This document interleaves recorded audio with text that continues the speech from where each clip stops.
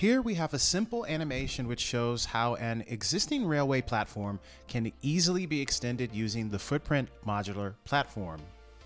First, the area where the new portion of the platform will be is cleared and prepared for construction. Next, a first foundation layer is installed, upon which the rubber blocks will be placed. And then, the blocks, made from recycled tire rubber, are put in place.